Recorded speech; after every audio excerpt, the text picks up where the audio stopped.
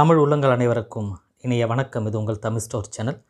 இன்றைக்கி பார்க்க போகிற வீடியோ என்ன அப்படின்னு பார்த்தீங்கன்னா சர்டிஃபிகேட் வெரிஃபிகேஷனை பற்றி தான் பார்க்க போகிறோம் இந்த சர்டிஃபிகேட் வெரிஃபிகேஷன் அப்படின்னு சொல்கிறது இப்போ தமிழ்நாடு ஸ்டேட் கவுன்சிலிங்குரிய ரவுண்ட் ஒன்றுக்குரிய இந்த கவுன்சிலிங்குரிய சர்டிஃபிகேட் வெரிஃபிகேஷன் ப்ராசஸ் வந்து இப்போ நடந்துகிட்ருக்கு இது வந்து பார்த்திங்கன்னா பத்தாம் தேதி வரைக்கும் நமக்கு டைம் இருக்குது இந்த பத்தாந்தேதிக்குள்ளே அவங்க ஏற்கனவே ஒரு ஷெடியூல் லிஸ்ட்டு கொடுத்துருக்காங்க. என்னன்னைக்கு யார் யார் வரணும் எத்தனை மணிக்கு வரணும் எங்கே வரணும் அப்படின்ற டீட்டெயிலாம் ஏற்கனவே வந்து கொடுத்துருக்காங்க வெப்சைட்டில் அது எல்லாருமே கண்டிப்பாக பார்த்துருப்பீங்க.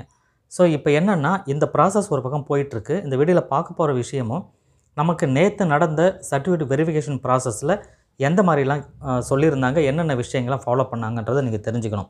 ஏன்னா இன்றைக்கி நிறைய பேர் கண்டிப்பாக போ போ- போவீங்க இல்லையா? ஸோ கண்டிப்பாக பார்த்துட்டு போனீங்கன்னா உங்களுக்கு இன்னும் கொஞ்சம் ஈஸியாக இருக்கும். ஸோ அது ஒன்று தெரிஞ்சுக்கணும். அதற்கு முன்பாக முக்கியமாக இன்னொரு விஷயம் என்னென்னா நிறைய பேருக்கு சர்டிஃபிகேட் வெரிஃபிகேஷனுக்கு நம்ம கூப்பிடல அப்படின்லாம் சொன்னீங்க.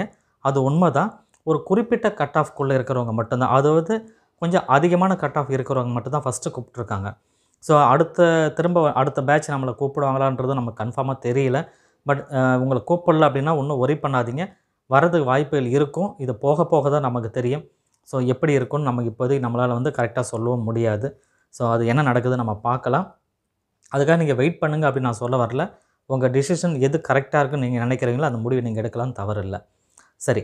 இப்போ நம்ம ஃபஸ்ட்டு வந்து பார்த்திங்கன்னா இன்றைக்கி கவுன்சிலிங்க்கு அதாவது சர்டிஃபிகேட் வெரிஃபிகேஷனுக்கு போகிறவங்களுக்கு வந்து பார்த்திங்கன்னா கவனிக்க வேண்டிய விஷயங்கள் அப்படின்னு பார்த்தோன்னா ஏற்கனவே நம்ம இதுக்கு முன்னாடி முன்பாக போட்ட வீடியோவில் நீங்கள் சர்டிஃபிகேட் வெரிஃபிகேஷனுக்கு போகும்பொழுது என்னென்ன டாக்குமெண்ட்லாம் எடுத்துகிட்டு போகணுன்றதை தெளிவாக நான் கொடுத்துருக்கேன் ஒரு வீடியோவில் இதுக்கு இதுக்கு முன்னாடி இருக்கிற வீடியோ நீங்கள் பார்த்தீங்கன்னா தெரியும். முடிஞ்ச டிஸ்கிரிப்ஷனில் வந்து லிங்க்கும் கொடுக்குறேன். செக் பண்ணி பார்த்துக்குங்க.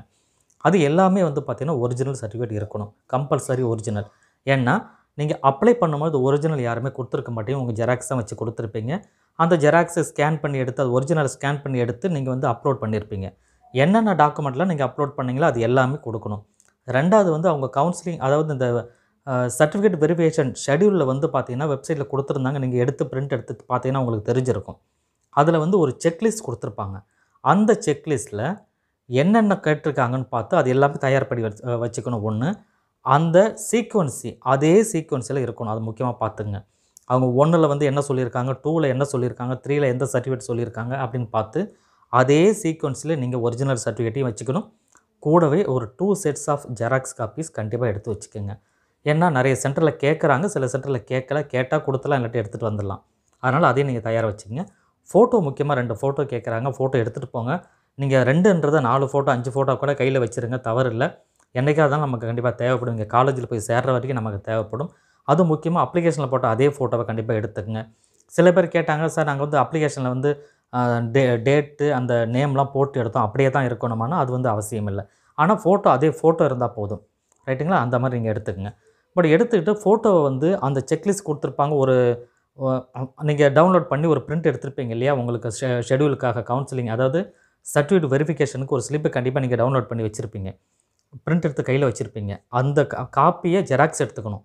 ரெண்டு ரெண்டு காப்பி மூணு காப்பி நீங்கள் ஜெராக்ஸ் எடுத்துக்கிட்டு அதை எடுத்துகிட்டு போகணும் முக்கியமாக ரெண்டாவது அதில் வந்து டீட்டெயிலை ஃபில் பண்ணுறீங்க இல்லையா? அப்போ தான் ஃபோட்டோ ஒட்டணும்னா அப்போ ஒட்டக்கூடாது. ஸோ அந்த டைமில் ஒட்டாமல் நீங்கள் என்ன பண்ணணும்? உங்களை சென்டருக்கு போனதுக்கப்புறம் அவங்க கண் முன்னாடி நீங்கள் ஒட்டுற மாதிரி இருக்கும். அதை பார்த்துக்குங்க. சப்போஸ் நீங்கள் ஒட்டிட்டீங்கன்னா கவலைப்படாதீங்க. ஒன்றும் பிரச்சனை இல்லை.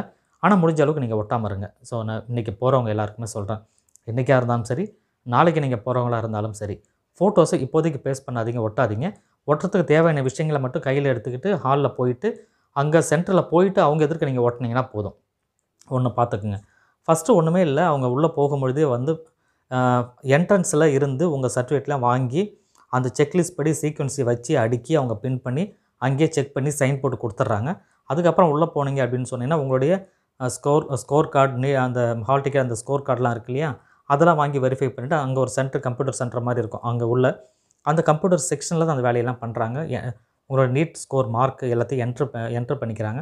அதுக்கப்புறம் உள்ளே போகிறாங்க ஸோ முடிஞ்சிருது. எல்லாம் வந்து பார்த்திங்கன்னா அரௌண்ட் ஒரு தேர்ட்டி மினிட்ஸ் டுவெண்ட்டி மினிட்ஸ்க்குள்ளே மேக்ஸிமம் எல்லாரோட ஒரு ஒரு ஆளுக்குமே முடிஞ்சிடும் ஸோ இதுதான் நடந்துகிட்ருக்கு நீங்கள் ஒன்றும் பெருசாக பேனிக் ஆக வேணாம். ஐயோ இதுன்னு எக்ஸாம் அப்படின்னு பயப்படலாம் தேவையில்லை.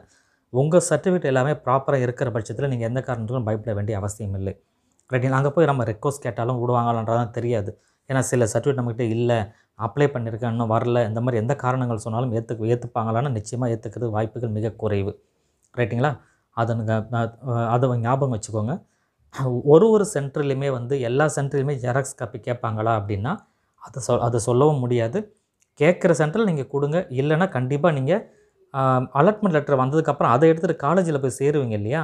அங்கே போய் சேரும்போது கம்பல்சரி நீங்கள் ப்ரொடியூஸ் பண்ணணும் உங்களுடைய ஃபோட்டோ காப்பீஸ் ஜெராக்ஸ் காப்பியை அதனால் தேவையானது இப்போவே நீங்கள் எடுத்து வச்சுக்கோங்க. ஏன்னா ஒரிஜினல் அவங்க வாங்கி வச்சுட்டாங்க அப்படின்னு சொன்னால் திரும்ப உங்கள்கிட்ட கிடைக்காது. அதனால தான் நிறைய எடுத்து நீங்கள் வச்சுக்கணும் அப்படின்னு சொல்லி சொல்கிறது இங்கே வெரிஃபிகேஷன் பண்ணிவிட்டு உங்களுக்கு ஒரிஜினலை கொடுத்துருவாங்க. காலேஜில் போய் தான் இங்கே ஒரிஜினலை சப்மிட் பண்ணுற மாதிரி இருக்கும். ஸோ அதனால் ஒரி பண்ண தேவையில்லை. பட் எதாக இருந்தாலும் காப்பியை முன்கூட்டியே எடுத்து வச்சுக்கிறது ரொம்பவே நல்லது அப்படின்னு தான் நான் உங்களுக்கு சொல்கிறது ஸோ முக்கியமாக ஒரு விஷயம் என்னென்னா ஒன் ஹவருக்கு முன்னாடி போகணும். எந்த சென்டர் சொல்கிறாங்களோ அந்த சென்டருக்கு அந்த டைமுக்கு உங்கள் டைமுக்கு ஒன் ஹவர் முன்னாடி போங்க. முன்னாடி போனீங்கன்னாவே உங்களுக்கு தெளிவாகிடும் உங்களுக்கு முன்னாடி போயிட்டு வராங்க இல்லையா?